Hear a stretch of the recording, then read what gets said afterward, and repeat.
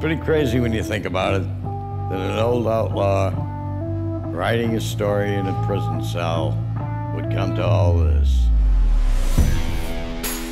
My name is George Jung, former inmate, federal prison number 19225-004. Being famous isn't something I sought out. I wanted to be rich. Anybody that thinks money can't buy happiness is full of shit.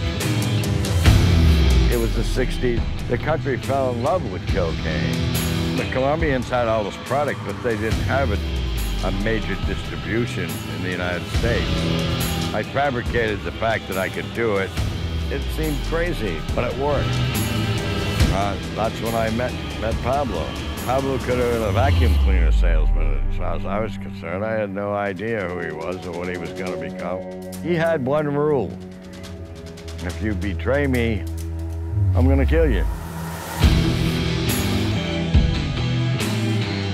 You know, I was up for two weeks at a time, marching around a, a Colombian dancing powder. Most of the time, I didn't know if I was in Florida with a suitcase full of cocaine or in Colombia with a suitcase full of cash.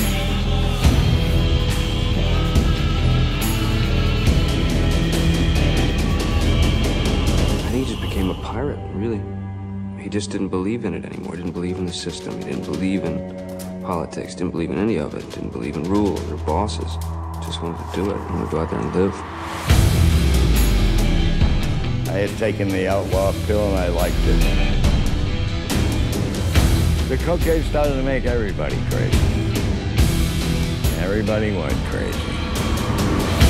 I'd lay in bed wondering how it all became so perfect and so easy, but nothing lasts forever, nor should it ever. What did he want to be? An outlaw. What did he get to be? Very charming outlaw.